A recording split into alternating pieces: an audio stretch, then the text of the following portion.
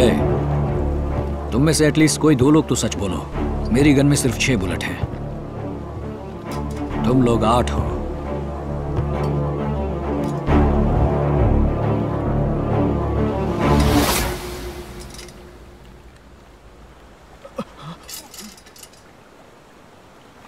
तू बोल sir sir sir मुझे कुछ नहीं पता सर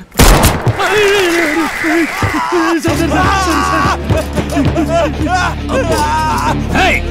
चुप बात चल रही है ना रोना है तो चुपचाप रहो तू बोल सर कसम से सर सर हमने नहीं किया सर तो फिर किसने किया पता नहीं सर पता नहीं sir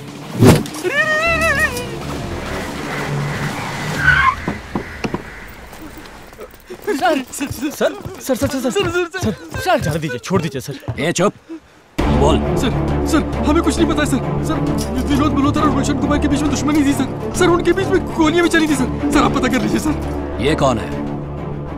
हमें मारने आए हो तो मार डालो। लेकिन विनोद मल्होत्रा को हमने नहीं मारा। तेरी बेटी को मारा विनोद मल्होत्रा ने। उसको किसी और ने। तेरा तो फ़ायदा हुआ ना। अब वो कौन है ये जानकर क्या करेगा? पागल जैसा सबका इनकाउंटर करेगा।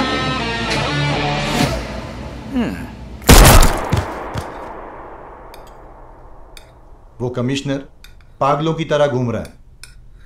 किसने मारा ये पता करने के प्रोसेस में तेरह लोगों का एनकाउंटर कर चुका। एक्चुअली उसकी बेटी की साथी उसे मारने का सोचा था। लेकिन जब उसकी वो बेटी आखिरी दो घंटे के लिए ज़िंदा थी, तब तक ये बेहोश था। और जब इसे होश आया। तो वो मर चुकी थी। गुस्से में वो विनोद मल्होत्रा को मारने गया। तो वहाँ वो मरा पड़ा था। उस वक्त जो उसकी हालत थी।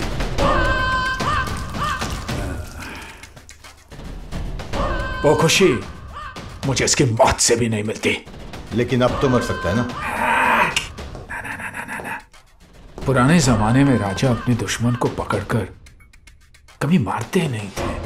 उसकी आँखें निकाल लेते थे।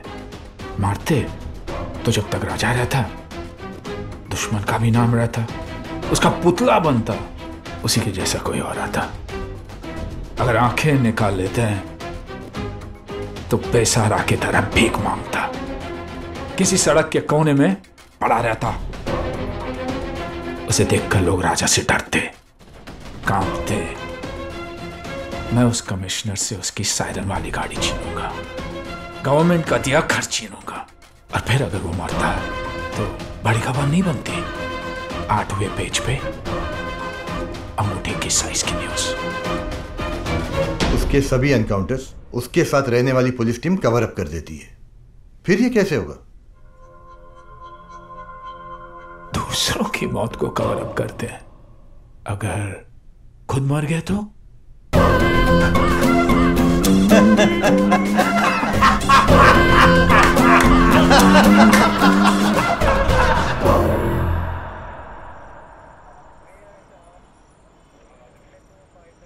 डॉक्टर से मिली थी।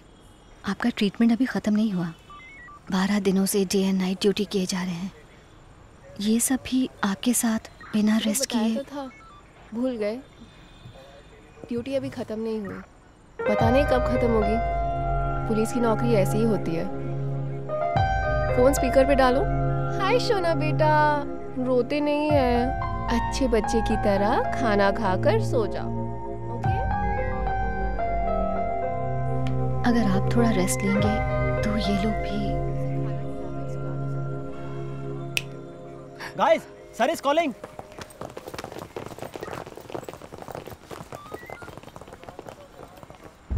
sorry मैंने तुम लोगों को बहुत परेशान किया। वल्ली की डेथ को लेकर कई सवाल हैं जिनका जवाब नहीं मिल रहा। मैं क्या करूँ समझ में नहीं आ रहा। उसी फ्रस्ट्रेशन में आप सबको परेशान कर रखा है। आप सब घर जाइए फैमिली के साथ टाइम स्पेंड करके कल वापस आइए सर आप भी घर जाके घर पर अब रहा ही कौन है सर आपने कुछ खाया भी नहीं है तुम लोगों ने भी सुबह से कुछ नहीं खाया ना मैं अभी खाना ऑर्डर करता हूँ मेरा फ़ोन कहाँ गया तुम्हारे पास फ़ोन है ना खाना ऑर्डर करो